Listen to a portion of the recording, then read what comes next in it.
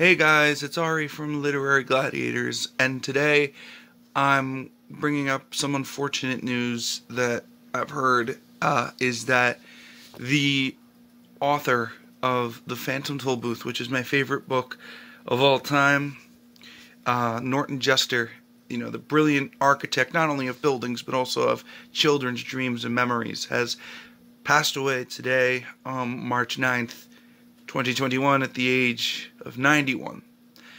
Um, it, it's it's a tough loss, uh, I think, for the literature community because we talk about how, you know, revolutionary uh, people in the literature community who you know make a lot of you know big deals and stuff and.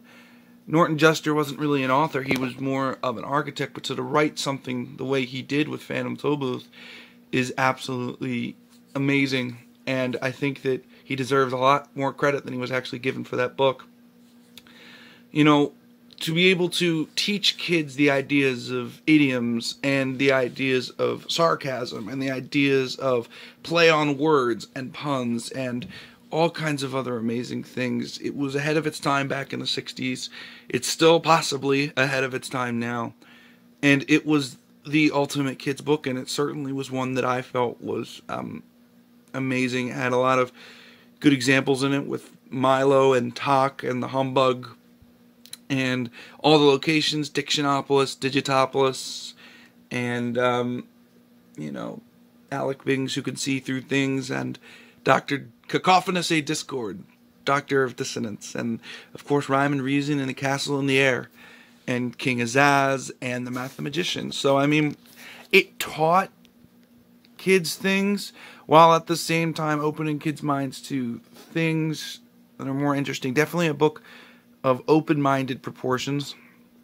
Um, but to see Norton Juster pass away today um, is very difficult. It's tragic.